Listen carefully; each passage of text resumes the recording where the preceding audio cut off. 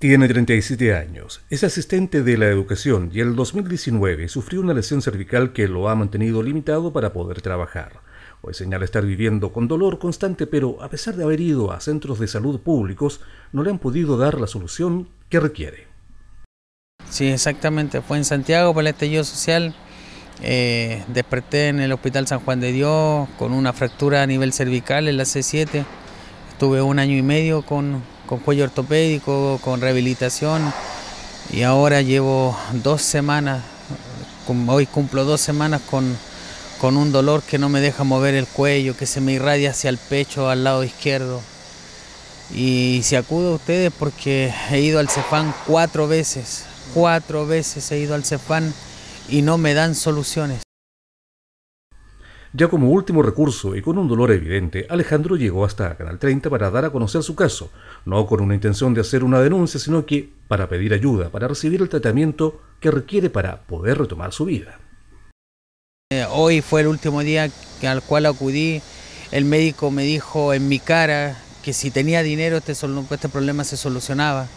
Yo le dije, ¿cómo me puede decir eso? Es que aquí no te vamos a hacer nada, aquí no tienes derecho a una ecografía, que es lo que al parecer necesitas.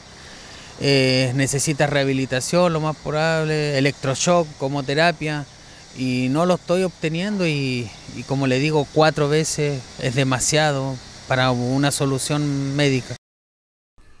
Actualmente sin trabajo, sus posibilidades de recurrir a una atención particular son prácticamente nulas y es aquí donde se convierte en un caso más que demuestra que la salud pública, pese a los esfuerzos, continúa al debe. Sí, yo había ido a urgencia y en urgencia me enviaron al Cefán, así que seguí el camino correcto, pero estoy en las mismas y ya no soporto esto. O sea, si hoy me llamaran por un trabajo, no puedo trabajar así, no puedo porque no sé qué es lo que me está pasando atrás.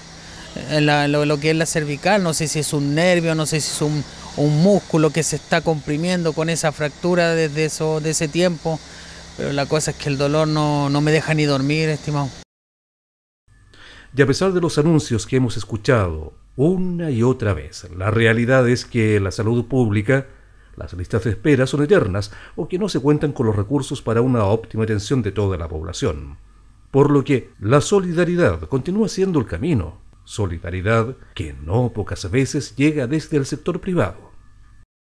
Yo lo único que espero son soluciones, que el Cefán me pueda realizar una ecografía a las partes blandas de la cervical para salir de la duda, y si hay un daño a nivel muscular o de tendón, me pueden enviar a, rehabilitación, en este caso kinesiología, electroshock, porque eso lo tuve hace años atrás y me dio resultados. Ellos, lo que pasa es que ellos no se ponen en el lugar de uno. Yo en estos momentos estoy sufriendo, la estoy pasando mal. No puedo dormir del dolor.